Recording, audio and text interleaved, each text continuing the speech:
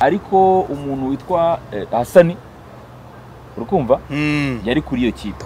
Eh, inyuma yanyu muhindukireho gatoya muhindukire gato murebe umuntu uri- uri inyuma yanyu.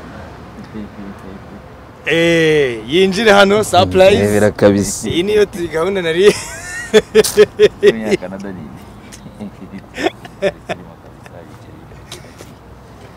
Eh basuhuza iyi niyo surprise nari mbafitiye. Reka da eh ntabwo uzajya ni ibintu twakinnye mani Eh, fata kano gatebe. Iyi gicumbi na Fuad nari nababwiye ko nari nababwiye ko gahunda ari umukobwa ngo uvuye muri Canada. Umukobwa kandi? Ntabwo nari kuza sinari mbizi. Na- nabi- nabibwiye nabibwiye Fuad. Eh, njye sinari kuza hari umu- hari umukobwa ubakunda uvuye Canada. bazaniye. Navuze ngo iki? Wavuze wambwiye uti Ehe. hari umuntu ntabwo mbwiye umukobwa odiyo Fuad arimo ari- Fuad arimo arishinganisha kugira amahirwe ngo nuko nabyumvaga ariko n'umugore mu buriri. Nta mukobwa wavuze sinzi ko imana ifasha mbasha kubona uburyo mbashimiramo ariko ni geste ntoya. Eh, izina ry'inyonza ni, ni, ni ikintu kiremereye cyane ntabwo ari ikintu cya danje ariko aho rimaze kugera hato cyane. Ni ukubera mwebwe inshuti bavandimwe. Aka ni akabeni ubu nabishaka nyine aragafungura kereke abakurikiye yago tv show na fuwad afungura ke nabishaka it's fine. Ariko bivuze neza ngo nimbishaka simbishaka. Giheni bavuze nimbishaka. Eh? ese waba hari icyo wifuza kugura kuri resitora ukunda? Ku isoko se? Cyangwa se ibindi bitandukanye? Ifashishije application ya pozo delivery turakugezaho ibyo wifuza uko ubyifuza.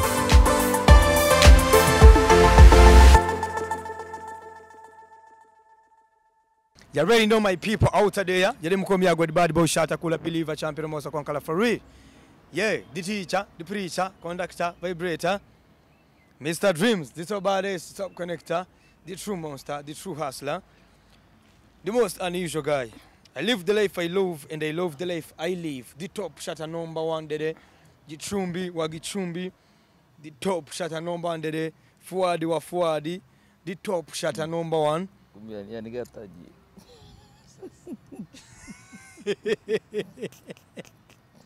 Ye nari nzi ko nzi ko kuvugana n'umuntu kuri telefone Yo, Gicumbi wagwan. wagwa ni deya so wagwa ni wagwa ni deya so Fuadi bimeze bite? oh man Meze fresh. Eh Fuadi ko wagira ngo ntabwo yafashe breakfast man. iki gitondo se waza wayifashe ryari Shaidene narimba arimo ariko uyu munsi ibyo byose ndashanda ari bavamo tu. Ndakora uko nshoboye ndibavemo. Gicumbi ntabyo yarazi. Fuadi ni we wari ubizi ko mbarimo ideni. Ariko we ntabyo yaruzi. tugiye kuyaryaho se amafaranga yawe kera kabaye tugiye kuyaryaho nyasha yewe ndayarira ku ivi yago sindabona umuntu sindabona umuntu ukuvuga ko wamuguriye icupa jyewe kandi urabizi ko duhuje inshuti nyinshi Fuadi nawe ntawe urabona. njye ntawe nigeze mpura nawe Nta muntu urakubwira ko namuguriye. Umugura ibiki bombo icupa. icupa? Ry'amazi se? Yawurute irihe cupa? Ariko rikajanira aha. Vuga icupa iryo ari ryo turiganireho yago icupa ariko. Koko koko nawe we. Eh? niko? None se nta muntu n'umwe urambwira ati yago yararigwi ntawe nzi. Kuko njye kuba narariye nta- ntaryo nanyoye uwo wariguriye nawe sindahura Urashaka renga uyu munsi muguhaye urarimwa tu. Urarimwa ku mugaragaro abantu babibone. Ndagira ngo mutwibwirire uko ero yagenze. Ibyo ari byo byose muri mu bantu bakurikiranywe cyane muri kino gikombe gihuza ibihugu byo mu Burayi. Ero yagenze ite? Reka mbere wenda kuri Fuad atubwire. Udushya yagiye ahuramo natwo muri muri zino mace ngewe tukiri muri kimwe cy'umunani nabwiye umuntu nti abatarani bazatwara kino gikombe. Abantu bampa urw'amenyo ndabyibuka ku munyamakuru Jean Luc ari we nabibwiye. Mbishyira no muri komanteri muri komentari yambishyira kuri posti ye. Ejo bundi yaravuze ati ubu ngubu iyo uza kwigirira icyizere ugashyiraho akamiliyoni uba uri umukire wa mbere dufite hano mu rwanda. Ngayo nguko ndagira ngo ngo tubu- wabujijwe n'iki ngo utaririye hari igihe ubetinga bigapfa oya ku beti buriya beti beti uko nguko nyine wabi- wabitekereza ko nanone buriya beti nushaka kuyikora ushaka gukira. Nta kintu uzakuramo. Ariko nubikora kwiyamiza nk'uko wabitekereza ukabona ati birashoboka. Bikora gutyo uranishimishije ni gukira Mm. ahubwo ngo wakoza za analize za danje nta muntu nta muanalisite wa beti ariko nubikora nk'umukino agafaranga uzakabona. Nushaka gushyiramo ubwenge bwinshi cyane ko muri iyi minsi ibintu by'ubwenge bitari- bitari kurya Mm. zakubitwa. Kabisa. Nawe rero yavuze rusava yagenze neza twarayikoze yose ndakeka imikino yose nta n'umwe tutakoze. Kandi yagenze neza twayitangiye turi bazima tuyisoza turi bazima. Mm. ni cyo kimbere cyo kwishimira? Nicyo cy'ibanze? Iyo akazi ugat- ugat- ugatangiye ukagasoza neza nta bindi biba birenze. Ibyo. ni ugushimira imana. Mm. n'abantu baba baraguhaye sapoti sure. Mhm. gicu. Yes. Wowe ni ibiki wahuriyemo na byo muri ero? Eh, muri ero ya bibiri na makumyabiri hari harimo ibintu byinshi byiza. Ngira ngo urebye uburyo abanyaburayi bategura ibintu byabo ubona ko dufite natwe ibintu byinshi twabigiraho. Ariko kuko njye icyo narebaga ahanini ni umukino uko wagendaga nabonye detara abakinnyi bamwe na bamwe rwose ubona ko bagiye bigaragaza bakiyereka isi ko ari abakinnyi bashoboye Mm. bamwe na bagiye baza no muri iri rushanwa umuntu atabafitiye icyizere wareba uko basoje irushanwa bahagaze ukabona ko bari abakinnyi beza ndabonyemo detara nk'ebyiri zo muri Denmark abantu bashobora kwitaho bakareba. Ngira ngo n'ubu bari mu bakinnyi bayoboye ku isoko ry'igura n'igurisha ry'abakinnyi. Eh, harimo umuhungu w'impurisenya abantu cyane wakinaga ku ruhande rw'ibumoso mu ikipe y'igihugu y'ubutaliyani eh, Spinozzola eh, hajemo imvune. Twabonyemo rutahizamu rwose bigaragara ko abasuwisi mu myaka nk'itatu cyangwa itanu iri imbere. Bazaba bafite rutahizamu utyaye. Nubwo izina rye kurivuga ntabwo ari basinga ibyemerewe ni izi- ni izina rivugwa na Clarisse gusa ni we wenyine uzi kurisoma. Eh. Eh, ariko ni umuntu rutahizamu w'umwirabura w'ubu- w'ubusuwisi. Itangizwa ni we uzi kurisoma. Eh? Izina ritangizwa na e. Ushobora gusanga nawe ush- ushobora kuba uzi kurisoma wanagerageza. Uwo naramubonye nabonye abakinnyi beza.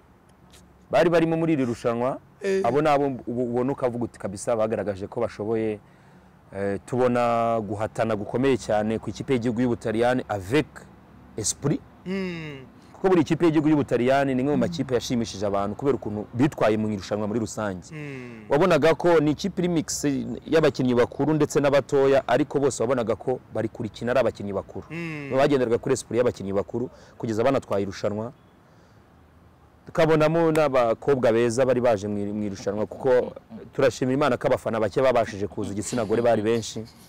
Abakobwa b'abanyasuwede kazi abakobwa b'abaporone buriya polonye yaratashye turababara cyane. Mm. Czech Republic na yo yari yaherekejwe neza. Igihugu nka Denmark rwose ba- babaga bisi- bisizwe n'utu- n'uturangi hano gutyo arababonye. Umwamikazi wabo. Na na premier ministre wabo Eh, abo muri Croatia abongereza nibo bagiye bazana abantu bibida bameze gutyo ukuntu ariko abongereza bazanye abantu hari imigati kabisa. Ariko ikindi gihugu cyaje neza cya- cyaje giherekejwe eh, Portugal. Mm. Portugal yaje yerekejwe ahandi hantu hagaragaye eh, ibintu byiza. Seville muri Espagne. Icyo nzi cyo ni uko uwitwa Fuad yari ari inyuma y'umufaransa. Cyangwa uri nawe uri inyuma y'umutaliyani. Imbabazi. uri inyuma y'umutaliyani nabonye ejo bundi posting agafoto uvuga ati yewe navuye cyane bita i Venice ehe? mu Butaliyani. Eh, ku muhanda wa V magana atatu mirongo ine na gatanu street neza mu majyepfo ya Venice ni aho ngaho iwacu hafi y'amazi ikimenyimenyi buriya kuko twebwe ntabwo twe twagiraga umwanya wo imbuga yo gukina umupira kuko twebwe mu gikari cyacu yari amazi y'i Venice kuko twe ni mu kirwa ni ho navukiye. Rero kujya mu Bufaransa nturutse. Igifaransa ko nabuzi buriya. Gice ibyo bintu Fuad avuze uremeranya na byo. Eh ibyo bintu ni byo afite na tante we ucuruza y'amavuta muri uwo mujyi acuruza y'amavuta Ndabazi rwose. Ntabwo ni nk'uko nyine wakumva wenda ngo duturanye na Kongo ndabazi. Ariko ntabwo ngera mu gicumbi yari ari inyuma y'iyo kipe Icupa ariko nawe gaje waryo si jewe ni Monza. Eh ni Monza. Waba ni Monza hano ujya bona hano ajya imikino ya rally ya ya Formula 1 Mm. uyu nguyu hari buriya baranabagu baranabaguriye Monza se ni mu gihugu Monza ni mu Butaliyani mu Butaliyani. Eh, Monza ni mu Butaliyani imikino ya Formula 1 umujyi mwiza cyane Eh. w'icyatsi kabisa. ntibabaguriye eh baratwimba baje kutwimura kubera ko bashakaga eh, kwagura iriya mihanda. Ariko ariko rwose. Naho ngaho none se. Okay ubu ubu- ubufaransa umuntu umwe muri kumwe muri iriya nzu wari ushyigikiye abafaransa ninde Sidiki nawe uramuzi ko ari Jarike umwanya munari kumwe. Na Sidiki Na Sidiki. we abantu benshi bafanaga ubufaransa jarike yafanaga ubufaransa n'ubu ni umufaransa no bose bitabiriye. Sinzi ariko numva cyangwa ni arya batashye byari sinubwo igihe bataye Mm, muri kimwe cy'umunani. Barahageze? Mm, bara- bara- barahageze Mm, barahageze. Baraje jarike yarafanaga abafaransa eh, na Eric. Eric ariko rero Eric ni Jarike wamwoheje Mm-mm. yego Eric Jarike aramwoheje mbere kwishonga ritangira ntabwo wako- ntabwo wakoshya umuntu ukuruta Eric byibura afana ubwongereza ahubwo ubwo ni Eric wamwoheje yose Eric afana yamwoshya gu- ubwongereza Eric yasafanye ubwongereza nyuma yatangiye irushanwa ari inyuma y'umufaransa ntubyibuka induru ye na Kimpempe. Rega, avuga ngo uzi ukuntu Kimpempe byagenze se. Reka- reka- baje reka- guhindura nari- yahinduye nyuma. Nari mari bamukomveka yahinduye nyuma. Ntabwo Ja- Eric arabaruta bari abantu ntabwo bari kumushuka ngo bikunde Eh. ni ntabwo bishoboka. Eric uzi ko i Butare abantu bamuzi Eric yagendaga idarapo ry'ubwongereza yari afite iby'umufaransa Eh, ariko umu- aba- Yahinduye urumva nyuma. na Eric nyine Ubufaransa ari aburiho muri Yero ariko umuntu witwa eh, Hasani urukumva Mm. yari kuri iyo kipe. Eh, inyuma yanyu muhindukireho gatoya muhindukire gato muri umuntu uri- uri inyuma yanyu. Eh, yinjire hano kabisa iyi niyo gahunda nari Muri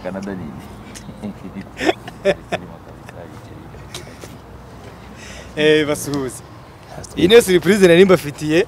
Reka da eh. Mutana ntabwo uzajya ngo ibintu twakinnye mana eh, ubwo kano ubwo gatebe. Nka bya bintu mujya mujya mukoresha Uri- kuri gatere za hariya. YouTube mukinisha abantu. Ubwo zose ko ari izanjye ndareba umuvandimwe icyo ari butahane nyine Eh, ndagusubiza iki? Reka reka. Reka reka reka reka reka Uretse kureba Benjamin, reka kwica surprise z'abandi. Ibyo bintu ariko byo. Ah Benjamin reka zimereze. Muhereze eh.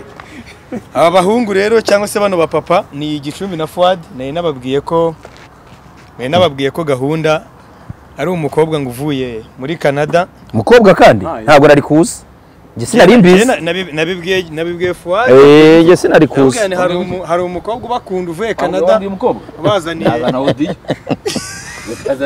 Navuze ngo iki? Wavuze wambwiye uti Ehe. hari umuntu ntabwo mbwiye umukobwa yazana Odi Fuad wo arimo mpande ari- Fuad arimo arishinganisha kugira amahirwe ngo nuko nabyumvaga ariko n'umugore mu buriri nta mukobwa wavuze reka reka reka reka wavuze umuntu. Ye amahirwe ubundi nko muri iyo nzego za kwenda nagiye nko kwibita nkayumvira ku ruhande. Eh. Eh, nk'ubu ukavuga umukobwa ni gutaha banki inyuma y'urugi ariko amahirwe nayifunga navuze ni yago Kobwa? yohereje isaha niyihera. Kobwa na madamu ari ku ruhande wari rwawe umuntu ngo uri iki ngo ndamubwira eh okay.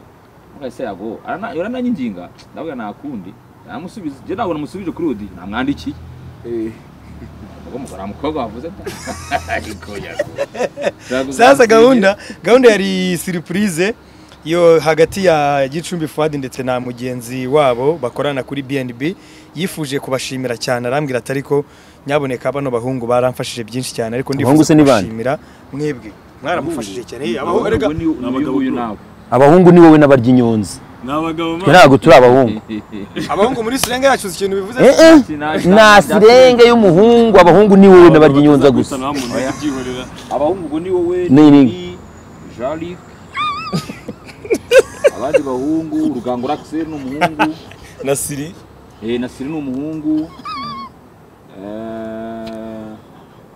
Nde undira umu- ni abundi ubundi ubundi ubundi na abo ni abahungu ubundi ni nawe abahagarariye urimo. ni abayoboye abandi Eh, abo ni abayoboye abandi bahungu- muri abo bana n'abandi bahungu na King James ni umuhungu Oya, si njye ntabwo nari mparigeyo na Buravan ni umuhungu Buravan si umuhungu Buravan nawe ni umuhungu buriya buriya Buravan iyo urebye ni umuhungu kabisa mwebwe muri aba papa twe turi abagabo turi abagabo ntabibona imbere ama- amategeko arabyemera uramutse nzanye igiti wansezeranyije ukanyita umuhungu imbere ye yabaga ari agaciro cyakoze. Wa rero gusaba imbabazi imbere y'abanyarwanda. Izo sirenga zagiye zijyaho zijya gukora. Aba ni abagabo yego. Nkorana n'abagabo reka. Ubundi njye na Jarike muri nyubako muri siporo nitwe aba- abasore babamo. None ntabwo turi abahungu kuko ntabwo turarenza imyaka. Eh, burya umuhungu ntiwarengeje imyaka. Ufite mirongo- itatu n'itanu atarashaka umugore burya aba yarabaye umuhungu. Aba ari umuhungu. Ariko nkanjye nyine wabyumvise? Ibyo ndi cyo ngicyo icyo ngicyo nkakora byose ni ibyo. Aba bagabo? hanyuma Fuad ndetse na Gicumbi nakomeje kubajisha mbajyana muri ero ngira gute nta kindi kiganiro rwose nifuzaga ko tugirana ku munsi wa none kuko muhora mutera ingabo mu bitugu ya TV show nanabashimira cyane. Hanyuma uyu musore yifuje kubashimira. Avuga ati hari byinshi bamfashije hari byinshi bankoreye ariko ntabwo babizi ko ngewe nzirikana ko hari icyo bankoreye. Ni na yo mpamvu nifuzaga kubashimira. Nkagira n'akantu gato mbagenera kabereka ko ntakwiye kubashimira ku magambo gusa ahubwo nkwiye kubashimira no mu bikorwa. Ni na yo mpamvu ngiye kumuha ino mikoro avuga abwira abanyarwanda badukurikiye kuri Yago TV show. Ariko nanone anabwira aba bagabo mubona turi kumwe hano. Hanyuma mu gihe arimo kubabwira yihangane akoreshe igihe kitari gito kugira ngo nanjye mm, ngireho nikoze hano hirya. Akoresha igihe kitari gitoya mvuga ngo igihe kitari gito. Ni nk'iminota wenda nk'itatu ine nanjye ngire me- message cyangwa se ngire impano nzanira gicumbi na fuadi kugira ngo ngutere ingabo mu bitugu batabona ko bagufashirije bafashije umuhungu we njye njye ngiye kuhangana n'abakuriye TV ugiye kubashimira kubashimira ariko ntabwo nanone- ugiye kuvuga ijambo. Aho fete arakoze cyane yago. Buriya yago wenda we ikigaragara azabyumva ibyo ngiye kuvuga azabyumva mu kiganiro. Cyangwa se ndabari kugitunganya Eh, ndamushimiye cyane ko ampaye uyu mwanya inshuti bavandimwe. Ni ibintu napanze kuva kera kubera ko ntago nabasha ku sinzi ko imana ifashe mbasha kubona uburyo mbashimiramo ariko ni geste ntoya. Eh, izina ry'inyonza ni, ikintu kiremereye cyane hano ahangaha. Ntabwo ari ikintu cya danje ariko aho rimaze kugera hato cyane ni ukubera mwebwe inshuti bavandimwe. Ntabwo wari urugendo ruba rworoshye kwinjira muri itangazamakuru rya siporo mu gihe gito ugahita ugira aho ugera atari radiyo ya mbere nari nkozeho nkorana namwe mfite abandi banyamakuru nakoranye nabo. Eh, ariko igihe natangiye gukoranira namwe akaba ari bwo noneho bijya ku yindi level. Atari uko mpinduye imikorere nyine ngo ubushobozi mfite buhinduke oya ahubwo ariko mwanyemereye kugaragaza ubushobozi mfite. Eh, bikava ahantu hamwe bikagera ahandi. Mu by'ukuri ntago ndi umunyamafaranga kubarusha. Ntago ntago ariko bimeze ariko kuva na kera tukiri aho twatangiriye kuri radio 10 nkareba uburyo byagendaga ni- ni bwo nagize igitekerezo. Ndavuga sinzi igihe nzakorana namwe uko kizaba kingana ariko nkareba uburyo mumfasha. Nkareba uburyo mumfasha ibi- ibitekerezo mwampaga mu bintu bitandukanye nakora nkagira ahantu hamwe mva nkajya ahandi Eh, nabonaga ari bishya. Nabonaga ari bishya aho nanyuze hose ni bwo bwa mbere nari mbibonye. Eh, abantu bazi ko nkora documentaire nkanogeza n'imipira nkanakora ikiganiro cy'i- cy'imikino cyitwa sport bar ubu ngubu. Ariko hari nk'abakunda documentaire nkora sinzi niba bazi ko igitekerezo cyo kuba nakora ikintu nka cya gitandukanye n'iby'abandi cyavuye muri mwebwe. Kubikora cyangwa se kumva icyo gitekerezo ni, support ya mbere ko nshyigikira nibuka ko hari igihe kigeze kugera ndabitekereza ndetse ndanabibabwira ariko birapfa. Muri kino gihe bitewe n'ibihe turimo bya covid 19 biragoye ko twagira ahantu twicara eh, tugasangira ku- kugeza ubu ngubu ntabwo byemewe. Eh, so natekereje ko nshobora gukora geste. Yo kugira ngo mumenye ko mubikora n'umutima wanyu ariko no mubikora mujye mumenya ko abibona. Uwuha umwanya eh, ukamuha support mu buryo butandukanye. Ndabibona bya umuntu atabasha no gusobanura ahangaha ariko burya single support ukora witanze njye ndayibona. Hari aho tujya tugonganira kuko ndi mutoya ndi murumuna wanyu muramfasha umunsi ku wundi rimwe na rimwe ugasanga nyine na reaction yanjye iraje ya cyane akaba ariko mbivuga ko muranduta uburyo muyikavaringa uburyo muyimanaginga mugakomeza mukanshyigikira mugakomeza mukaba iruhande rwanjye mbona ntabwo bisanzwe. Ntabwo bisanzwe ngira ngo hari abandi hafatwa icyemezo kiremereye cyane. Amakosa nkora umunsi ku wundi mu kazi mukagira uburyo muyamanaginga nkakomeza nkakora namwe mukanyegereza ntimunkire kure ntabwo bisanzwe. So ntagiye muri byinshi n'ubundi su gift nabageneye uyu munsi ntabwo ihenze cyane. Wenda kijyanye n'ubushobozi mfite. Ko ngiye kuvuga ngo ni iya- ni iya danje hari ababaha iza danje kundenza kuko ni benshi ba- ba- babakunda. Ngibi mbikoze kuko nanjye mbakunda kuko natangiye ndi umufana. Igihe kiragera bamwe muri mwebwe. So guys imbere ya TV show n'abakunzi bayo n'abakurikiye iki kiganiro ndabashimiye. Umutima wanjye urabashimiye cyane Fuad umutima wanjye uragushimiye cyane Gicumbi. Hanyuma rero mu bushobozi bwanjye yago byaramvunnye birumvikana. Byaramvunnye uko bingana kose icyo kuko na icyo nshimye ni- ukuba warazirikanye ko bagufashije. Buriya ngewe ntabwo njya nshima ko ntabwo nashima ino mpano Mm. kuko ino mpano ishobora kuba wenda idafite n'agaciro ko hejuru Mm. mu bijyanye n'ubushobozi bw'amafaranga ariko umutima wagize wo kuzirikana. Buriya ntekereza ko gicumbi niyo wafungura impano ya gicumbi agasangamo nk'i- nk'ikaramu agasangamo nk'ikarita ya MTN wenda ya magana atanu cyangwa se y'igihumbi Agacupa. ntekereza ko ata atashimishwa n'iyo karita. Ahubwo yashimishwa no kuba warafashe umwanya wawe ukabitekerezaho ukabizirikana kuko gushimira umuntu akiriho ni ubutwari. Ari na cyo ngewe mushimiye kurusha n'ibindi. Ukiri aho ngaho igihe byantereye ubwoba. Umwe muri bo ejo bundi yigize kugira ikibazo ubundi nyine umuntu aba muzima ariko rimwe na rimwe yagira n'uburwayi buzi umwe muri bo yagize ikibazo cyakoze namusengeye kurenza uko nabikoraga ko numvaga njyewe mfite ubwaka ashaka no kugenda muvandimwe ko wabonaga bikomeye. Kuko ngo umuntu mana ararembye ararembye. Ari ubwa mbere ubonye aho ari hejuru. Biba biteye ubwoba. Nagize ubwana bwabo ngo yago yarembye ari mu bitaro. Byaba ari ikibazo. Ntarakubona na rimwe. Noneho bakakubwira ngo ari muri bomboni. Noneho kabisa umwana uhita umutwe. Uhita umutwe. Ariko imana ishimwe ko bakiri, bazima. Reka njye mbashimire bakiri bazima. Reka mbashimire nkibabona. Ntazabivuga nyaboneka ntawumenye ko ejo biba bimeze. Eh, so kuko na zino ntuza zirasa. Kugira ngo zitandukanye hano kano kaboro kariho hano. Urabona ko ari B. Aka- aya aka ni aka Ben. Kuko si ngombwa kangane gushyiraho F. Eh aka ni aka Ben. Ubwo nabishaka nyine aragafungura kereke abakurikiye TV show na forward afungura ke nabishaka it's fine. Ariko bivuze neza ngo nimbishaka simbishaka. Njyewe nibavuze nimbishaka. Eh? Bavuze ngo nimbishaka. Kikwereka ko abantu baba batandukanye. Wanagiraga ngo njye nagiraga ngo ndebe ko donc mu munsi ya kano gapira nta gacupa kaba karimo. Karebo fayive se yaramvunye kabisa. Thank you ben. Kubereye kabisa. Akora umuzi wari unabizi ko ariko kuzamukwira barumva kabisa ben se usanzwe ubizi ko agira isuku ku buryo wari guhitamo ibara ry'umweru. Araga ari iryo fuadi yavugaga. Murebe kuva murebe kuva hasi ukuntu yambaye. Urumva? Ntabwo yabitindaho ashobora kuba yavugaga ko wenda arebye ingano y'umupira abona igifu kizakwiramo. Ariko urumva sayizi zabo sayizi zabo ziba zigaragara. Bene cyo umwambitse medium yaba- yamubaha agasimoru hakumuha ya ni medium ariko ni iyi medium ni ni rx rx rx iyo ngiyo ni medium medium Yeah, yeah. nyine ni.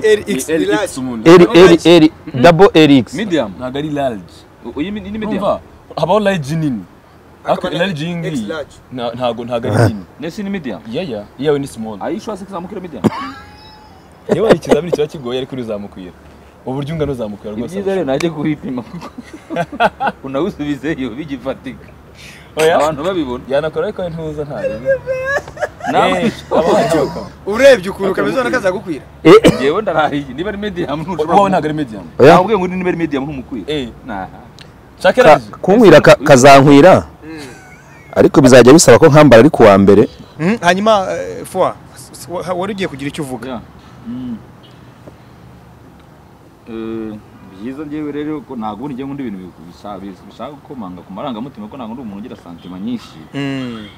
Eh, ntabwo nyine nyine iyo umuntu biba byiza iyo ukoze ibyo ukwiye gukora mu gihe cya mu gihe ubona ko bikwiye. Eh, ubwo nawe ni uburyo bwe bwiza cyane bwo gushima ni umuco mwiza by the way.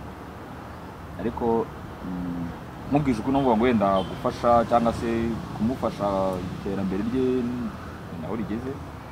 Cyane ko mbona hani- harehare cyane gifite byinshi byo kwiga cyo kimwe n'undi uwo ari we wese muri iyi saba afite byinshi byo kwiga nanjye men n'undi uwo ari we wese muri ino saba afite ibintu byinshi byo guhora yiga gufata inisiyative ugashimira umuntu ni? Byiza cyiza cyane kuri njye rero ku giti cyanjye buriya njyewe ukuntu umeze yago nyine anumva tunshimwe nshimwe ari ukuntu injenato. Imana imuha umugisha igitekerezo cyiza yagize ndetse no kurekwa misa ni byiza ko ragari nanone ari ibya muntu wese ni ubutwari udafite umuntu uwo ari we wese Eh, iyo hari ikintu ubona kigenda neza shima ni karite uka- ukanabigaragaza ukabigaragaza amarangamutima ya buri muntu wese akabibona ni karite yindi umuntu aba afite hari n'abatabibasha akavuga ati mu mutima wanjye ni imana tuzamushimira. Kandi mu umugisha byose biterwa gushimira buri buryo bwinshi. Petit frere rero rwose ndagushimiye cyane urandemeye.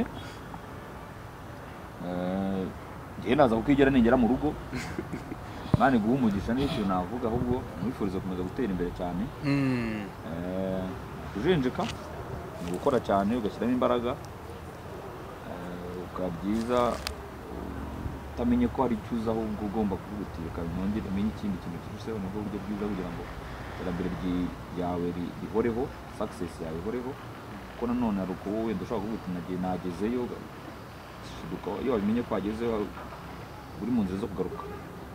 Ariko utarabimenya uravuga uti ino esikariye inyuma hari indi hari indi buhoro buhoro buhoro buhoro. Ukarenda uka- ukazagenda ugashyikayo kandi bikagenda neza. So ni byiza gushima ni byiza cyane wenda nitwebwe abashe gushimira kuko nitwebwe abapatina biwe. Yego. Ah, mu kazi ka buri munsi. Ariko urumva harimo natwe ubwacu twamufasha no gushimira n'u- n'ubuyobozi. Eh, bwaradufashe nyine kugira ngo iyo tuyi- tuyibone. Ko nta bantu benshi bashobora kugera kuri iyo platform bagapafuminga neza. Ariko natwe ubu tuba tugomba gushima. Ya- yagize neza gushimira ekipe akorana na yo. Natwe turamushimiye nka petit frere wacu. Yavuze ngo mu kazi hari utuntu tutagenda neza. Yego bibaho ariko ntabwo bisobanura ko akantu niba kabaye umunsi mugomba kukagira impamvu yo gutuma ekipe ikomera. Ahubwo Mm. mukaga- muka- nikarangire ekipe ahubwo murebe ibindi bikomeza kugira ngo ekipe ikomeze gutera imbere no gukora kurushaho ni ibyo ngibyo nyine navuga muri rusange gushimira cyane ni byiza ni umuco mwiza ubwo Mm. Uh, uyu ni petit frere nawe muri ekipe ninjye mukuru uyu ni petit frere n'uyu ni petit frere bose ngenda bashimira yuko tubanye neza mu kazi Mm. Eh, bakana simbizi wenda byaterwa n'ukuntu umuntu abana n'abantu ngiye mbona bambanira neza gerageza kubaha nanjye bakanyubaha mu byo tugomba kubahanamo mu buryo bwiza ndetse no mu buzima bwa buri munsi si akazi gusa. Kugira ngo ekipe ibe nziza ni uko byibuza hari ibintu biba biri sosiyale igomba kubihuriramo n'iki na kino gikorwa sosiyale. Mm. so ndabashimiye mwese muri rusange by'umwihariko Edi na Yago ariko Yago njye si muri umuntu mbeshye. Ibyo wambeshye uze kubinsabira imbabazi.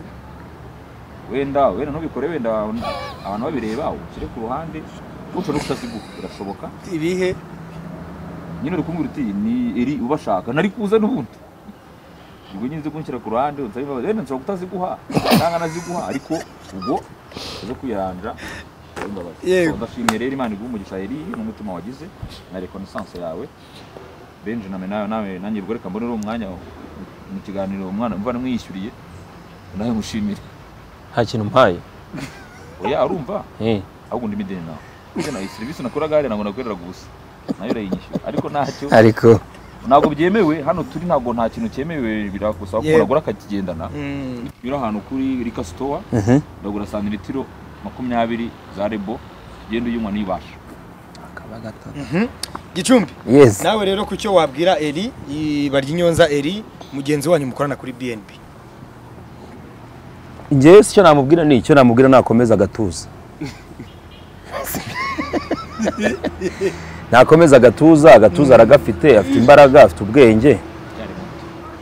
Eh, afite n'iyo platform Fadi yavugaga ni we rero wo kumenya kuyobora ubushobozi bwe n'ubuhanga n'ubumenyi yunguka akabihoramo. Twese dufite abo dushimira bagiye badufasha muri bino bintu. Kuko njye ndafite ibyo nkureberaho. Nshobora gukora ibyanjye ntibibe byiza. Ariko mfite ibyo nkureberaho kandi ntubimpishe kera ngo abashinwa bubakaga nijoro n'ubu kandi niko bimeze nta mushinwa wubaka ku manywa. Kugira ngo kubakopera bigo- ibyo bigorane. Mm. Twebwe rero ntabwo dukora nijoro dukora ku manywa ubishaka arabibona ubikuramo isomo akarikuramo. So ni byiza. Ni umuhungu uzi ubwenge kandi w'umuhanga. Kandi ufite n'ubushake bwo gukora burya hagora gukunda umurimo. Ibintu byose iyo ukunda umurimo bikorohera kuwubamo kandi iyo ubamo nyine uwukora neza. Icyo ni kimwe. Ikindi igitekerezo cyo gushima ni byiza Eh, ni byiza iyo umwanya ubonetse eh, ugashimira umuntu. Ubwo ahubwo natwe hari ibyo aba atwigishije kuko nkanjye sindashimira nanjye abo eh, nakuyeho ubumenyi bose bose sindabashimira. kwiyogoshesha ubwo nanjye ni isomo mukuyeho n'ibinkundira Mm. nanjye hari icyo nzavuga ngo nabikuye kuri ku mwana wo kurugarika yego. So impano rero nayikunze ni nziza. Hasigaye kuzanjyana iwabo ku rugari ka- akanyatira nkabona aho mpinga imyumbati kuko nabonye bafite igisambu kinini iwabo. Ubwo na byo tuzambuka tujye ku rugarika ni ukunyatira ntabwo ari ukugurisha. Eh. ni ukunyatira kugira ngo mbone aho nshyira udushyimbo imyumbati kuko kubihaha byose i kigali biragoye. Eh, ariko so merci beaucoup kandi courage mu kazi. Eh, bimeze neza. Nanjye reka mfate uno mwanya nshimire Baryinyonza Eri ni umunyamakuru wa BNB tunashimira timu yose muri rusange yamubaye hafi kuva kuri Radio 10 twarahakoranye igihe kiragera buri muntu aba afite igeno rye. Yego namugurira agacapati mani kwa ntuzi kwa soso. agacapati bro. Baca inzira zabo nanjye nca izanjye uyu munsi ariko turongeye turahura kandi turahuza umunsi ku wundi. Nshimire cyane Fuad ndetse na Gicumbi. Ni abagabo b'ijambo kandi ni abagabo bari supportive. Iyo ubakeneye urababona. Iyo ubakeneye bazi ko hari icyo bagomba kugufasha barakigukorera reka nshimire Eri ku mutima yagize wo kubashimira. Ni ukuri nawe niba uri aho ngaho ufite impano y'aba bagabo uzabinyuzeho. Ni ukuri nzabigufashamo kugira ngo impano zawe zibagereho kandi nzi neza ko nzabikora neza nzanabishobora. Eri nabikoze neza? Ah, ahubwo nawe ukwiriye akantu wakoze yego imana umugisha wakoze uno mwanya. Ah, kukazera wowe? Bro urakaze niba utarabizi nawe bimenye urakaze byataye kumuha umwanya ni iby'agaciro gakomeye sana. Ah, kuba ndishimye kuba nibura igitekerezo cyanjye ibyo natekereje bishyize mu bikorwa ubimfashijemo. Ah, ibi- mba bikoze kugira ngo n'umunyarwanda ahari abone akazi bakora. Nyine abone ko hari ibintu bakora. Babakunda kubera ibyo bakora bakunda ubuhanga bwabo bafite nu- na trike bakoramo akazi kabo. Ariko banamenye ko eh, ni abantu bafite umutima mwiza burya no mu kazi.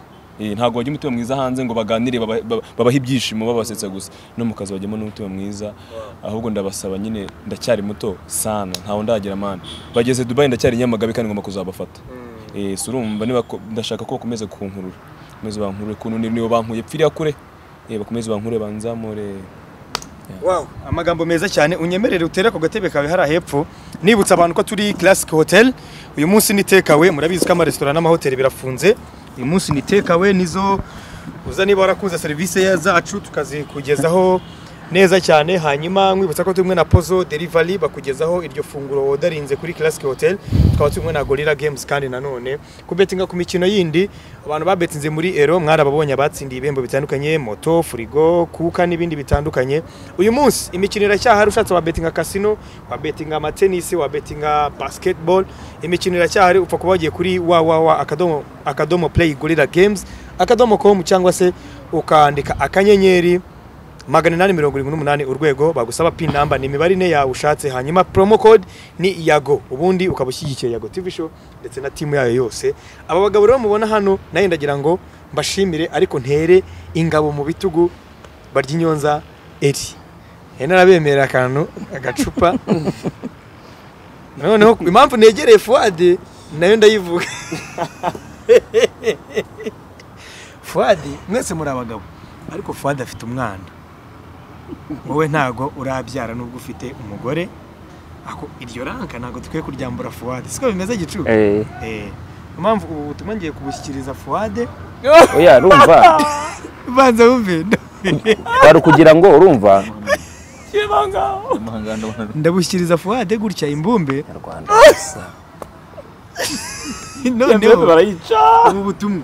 Ubwanyu mwembi. Nyarwanda gusa. Yakira jaja yakira mutwe nari ngiye ubu butumwa ubwanyu mwembi. Bajyaga bavuga ko uri umukire imibare. Imibare fuwadi niyemera ko ingana.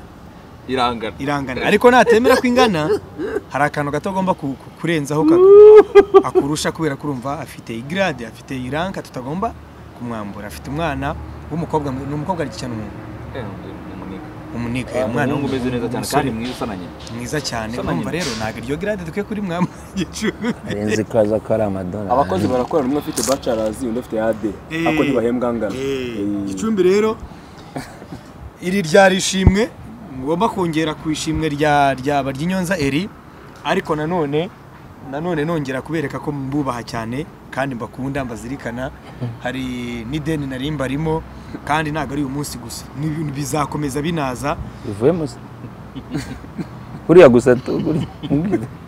gusa uzi ukuntu kari akantu kangana. Waba uzi uko? Bari mwari guteramo umubare.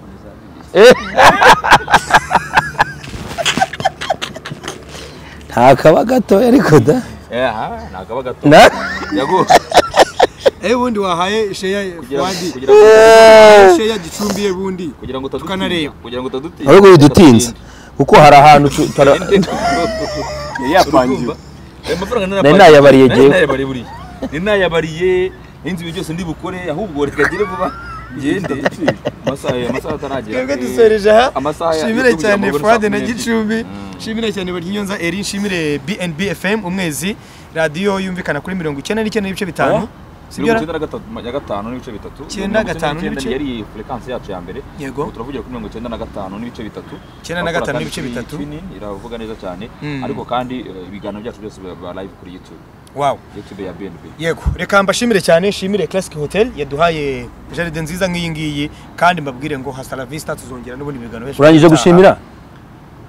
Eh. Kudashimiye jajya Eh?